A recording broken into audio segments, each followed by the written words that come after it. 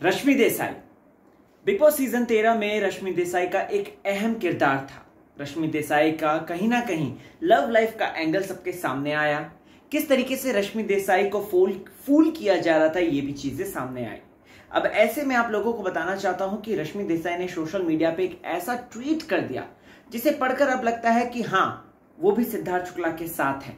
और सिद्धार्थ के साथ वो भी कहना चाहते हैं कि यार stop it stop this blame game negativity around here मैं राहुल भोज स्वागत करता हूँ आपका फीफा फूज में। चैनल को अभी तक सब्सक्राइब नहीं किया है तो फटाफट कर लीजिए।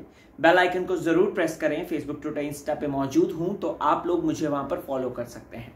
दोस्तों बात करते हैं the beautiful the gorgeous Rashmi Desai के बारे में।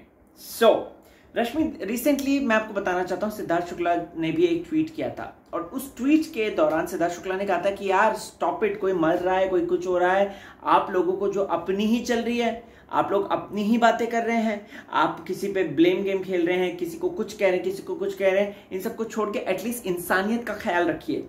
और इंसानियत की इंसान इंसान की इंसानियत निभाइए।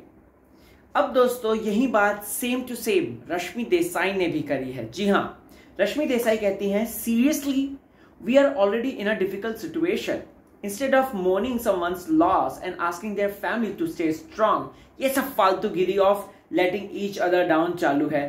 Guys please reach out to people help each other we are in all this together so Rashmi Desai ने दोस्तों साफ़ तौर पे बोल दिया कि यार ये क्या तुम क्या बदतमीजी चालू है? एक दूसरे को नीचे गिरा रहे हो, एक दूसरे के प्रति जहर उगल रहे हो। इससे अच्छा है जिसका लॉस हुआ, उसके प्रति कम से कम अपनी अपनी भावनाएँ तो दिखाओ।